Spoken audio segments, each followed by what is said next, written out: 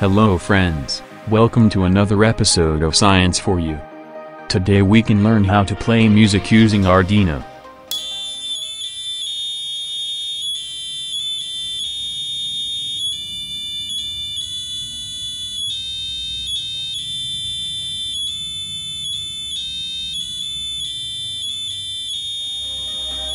We can use Arduino to play music using passive and active buzzers.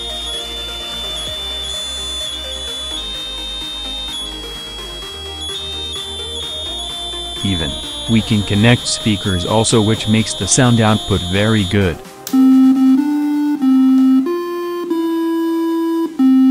Watch the video to find out how to do this. Please subscribe to my channel to watch interesting science projects in future.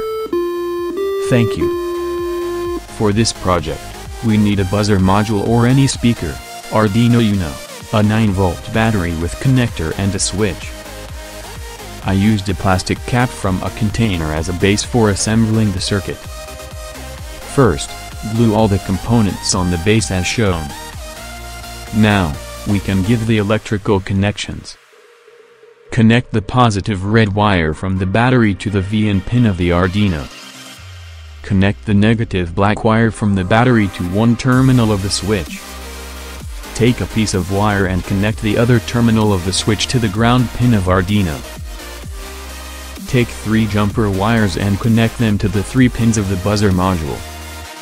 Now connect the VCC pin of the buzzer module to plus 5 volt pin of Arduino. Connect ground pin of buzzer module to ground pin of Arduino.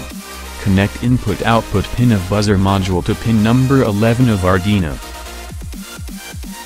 I am adding a light also which blinks according to the tune. For that, First connect a 220 ohm resistor to the jumper wire connected to pin number 11 as shown. Insert the negative terminal of an LED bulb to ground pin of Arduino.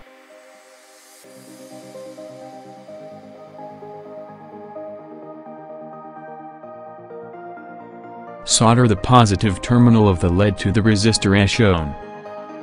This resistor is added to limit the current to the LED bulb and prevent it from burning out. The circuit is ready. Now upload a code to Arduino as shown. Let us now test the circuit. The circuit is working correctly. This circuit can be used to play music through passive buzzers. It can be also used to play music through normal speakers as well. Just connect the positive terminal of the speaker to pin number 11 of Arduino and negative terminal of speaker to ground pin of Arduino. I have uploaded large number of popular tunes which can be downloaded from the link given in the description box. Hope you like this project. See you again with another interesting video.